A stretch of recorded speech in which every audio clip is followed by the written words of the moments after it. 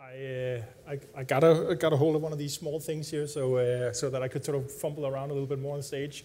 Sort of being the proverbial raisin in the hot dog end, I suppose that it's, uh, it's, it's uh, you know, I, I need to sort of keep your, your head moving so that you're not uh, falling completely asleep. Hopefully I can entertain you beyond that as well. I'm Jakob, I'm the CEO of a company and also the co-founder of a company called, well today Mash Makes. Yesterday it was called Mash Energy, so we changed our name and uh, perhaps Perhaps this presentation will give you a bit of an idea of uh, why we did that. Well, so in MASH, what we've been trying to do is figure out uh, some of the answers to the questions that have been set forth by, among others, the IPCC.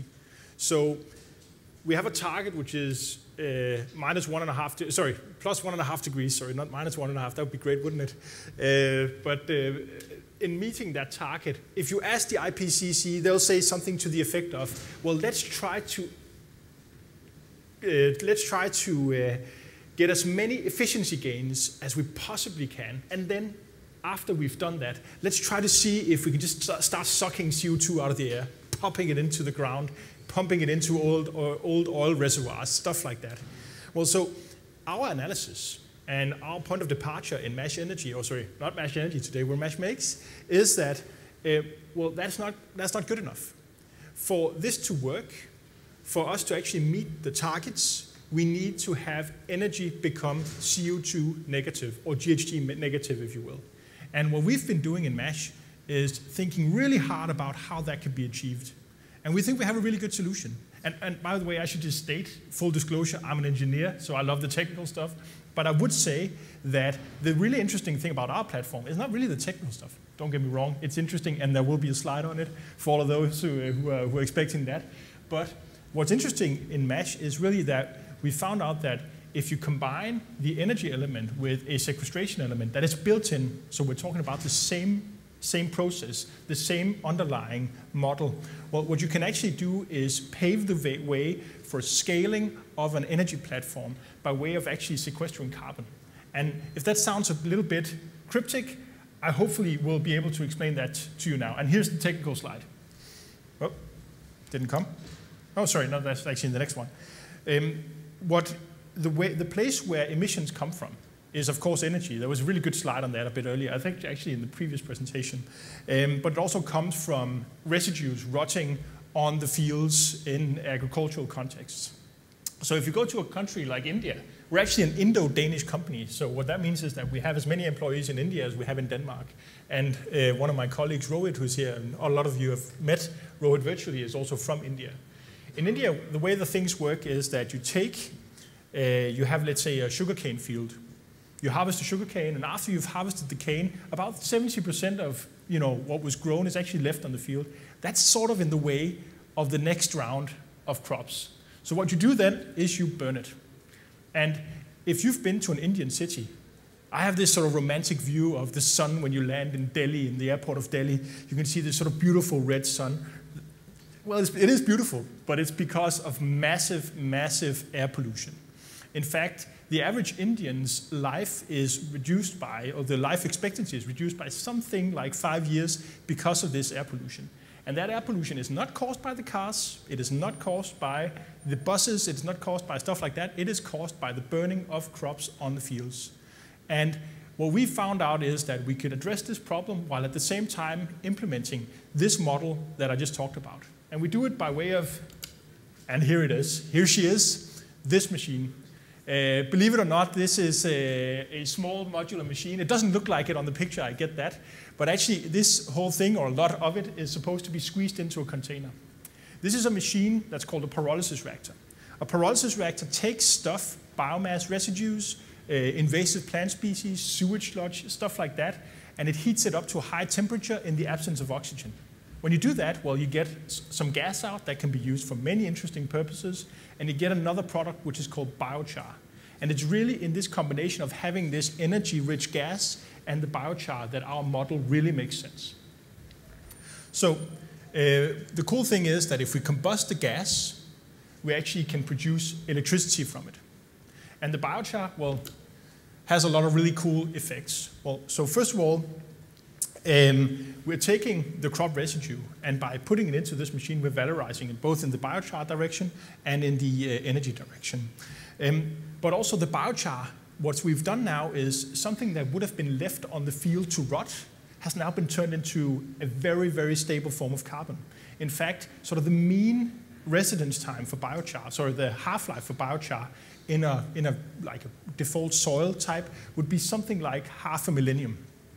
So that means that when we're taking this biochar and putting it into the soil, it'll stay there, or at least half of it will stay there for more than, a, uh, more than 500 uh, years. That's a pretty good starting point for, soil, for, for carbon sequestration.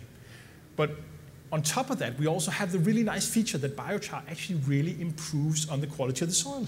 It reduces soil density. That means that the roots can sort of spread out and get a grip.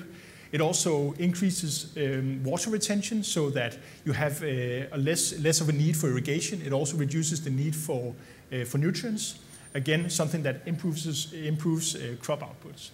So what we've chosen to do is actually take biochar, not onto lands that you might find out here around uh, Glasgow that are arable, where you can grow things and that are of good quality. No, we go for the worst possible soil you can find, arid lands. So essentially, we go for deserts. So what we're trying to do here is we apply biochar to deserts, and by doing so, we actually turn that into arable land, so land that can be farmed. And the cool thing, of course, is that if we do that, well, that is land that now produces residues. So, and those residues can, of course, be, be used by us. So again, just to recap, biochar is really the core of the concept here. We can produce uh, hydrogen in principle, we can produce electricity, we can produce biofuels, but the biochar is always a built-in feature of whatever we do. And that really has all of these nice benefits. This is actually a recent picture that we were taking, uh, had taken in India, where we're doing some soil studies in India, and now we're launching uh, together with, um, I think that was on the next slide, on the last slide, sorry, I forget, um, with uh, a company called Carbon Future and Klarna. We're now launching this platform uh, where we're starting to sell credits associated with putting the biochar into the soil. And that is not even counting the effects of the biochar increasing water retention and so forth. So what we're doing now is, of course, trying to achieve this goal of carbon negativity. And how are we doing on that? Let's see here. So this is a graph showing some of the, the usual suspects in the, uh, the green transition. And what we've taken the liberty of doing is saying, well, let's not, let's not compare technologies only based on the uh, cost to produce, let's say, a kilowatt hour of electricity. No, let's say that it has to be a CO2 negative kilowatt hour of electricity. Because again, that's where I started. This is what we need to actually achieve this uh, one and a half degree maximum uh, temperature increase. Well, so the cool thing about our platforms is that all of these other platforms, such as like geothermal, hydroelectric, uh, nuclear, and even uh, wind, they all have emissions associated with them. Like there's no such thing as zero if you don't have a sequestration element associated with it, at least not today. So they need to have an add-on feature, an add-on feature in the way of, let's say, sucking CO2 out of the air or doing something else to actually sequester the carbon associated with the production. We don't have that problem because our model, our technology has the carbon sequestration built into it. So that's why, in terms of price, we are much, much uh, lower than uh, the competitors, in this case, these renewable resources that you've seen before. We also have the added feature that we're taking what essentially today at least is considered a waste product, a product and we're turning that into these valuable resources. So energy, uh, carbon sequestration, but also improved arable land. Okay, I think actually that is what I wanted to share with you today, and I look forward to seeing what you have uh, on the question front.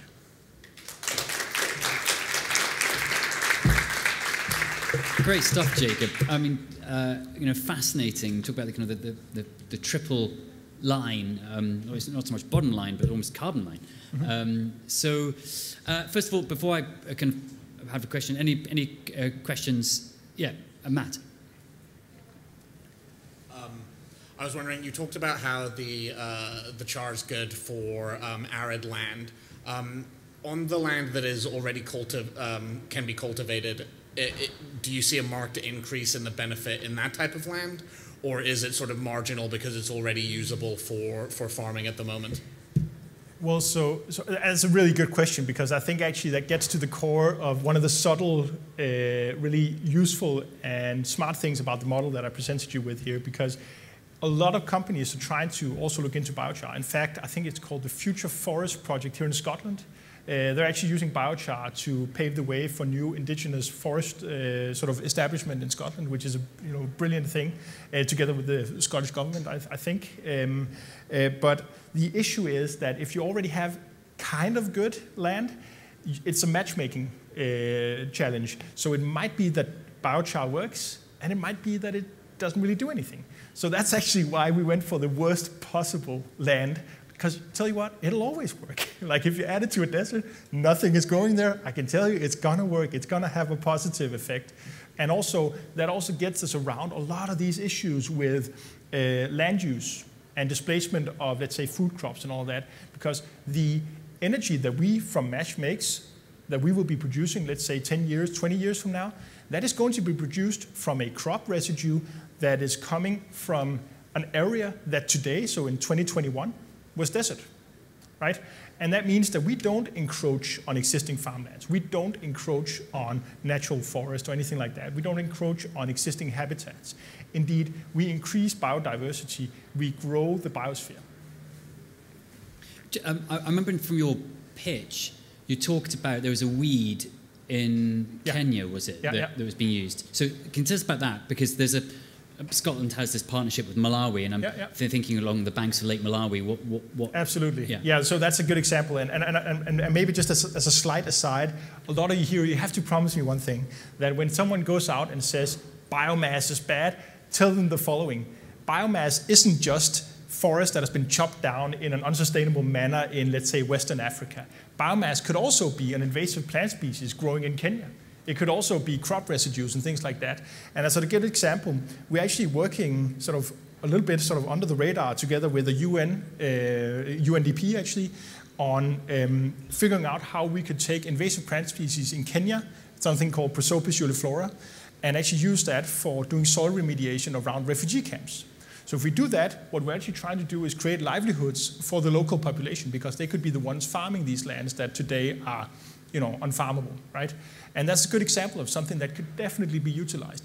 I'm not, I think, if I'm not mistaken, Malawi is bordering on the Victoria Lake. Yes, that's right. Yes. So the Victoria Lake is completely infested with something called water hyacinth. It is, it has completely destroyed the biotope in uh, the, the lake and the livelihoods of the fishermen actually, uh, you know, you know, uh, catching, uh, catching fish in the lake. So that can also be used for this exact purpose, taking out the water hyacinth, getting back to the original biotope or the, and, and the, ensuring that biodiversity thrives in, in a lake like that. And uh, sorry, does anyone have any questions? Oh, yeah, yeah, yeah, sure. Hi. Can you? Yeah. So I see your system as a system that consumes heat. I was wondering what will be a typical source of heat Well, for so, the system. so the way that it works is that if you put a hydrocarbon, sorry, a hydrocarbon, so when I'm thinking things like cellulose, lignin, the things that are in, well, pretty much anything, proteins, if you put that into our machine, what will happen is some of it, uh, typically around half of it, half of the carbon will go into the biochar. The rest of it will go into a gas. And then we can choose to do many exciting things about that gas. One, the easiest thing is to just burn it, right? That of burning it gives us the energy for the process. So that's sort of self-sustaining in that regard. But you can also uh, do some upgrading of it so they can actually start producing uh, hydrogen or even producing electricity from an internal combustion engine because you can put it in there. So there are many different interesting options you can do there. But the energy comes from the biomass itself. But when, when you when you talk about the units, how what scale is it? Is it container Yeah, so we, size? we have a uh, we have a very very simple uh, simple principle in Mash Makes, which is we do the largest possible machine that'll still fit in a 20 foot container. And that's because what you don't want to do is move around these resources. You don't want to move Prosopis juliflora around. You don't want to move water hyacinth around. You want decentralized production of the energy products and the biochar because those are valuable commodities that you can then subsequently move around. You'd much rather move those commodities around than the ingoing uh, biomass feedstock or the residue. this is fascinating, and, and like all the companies, you know, we could chat for ages around this. Um, Jakob, thanks very much, and there's loads more we could ask, uh, but that's great for now. Um, thank you for you. Uh, being the, the, the uh, um, ending the, the, the session of the presentations um, so well. We're going to have a, a short break, about so 10 minutes. Thank you.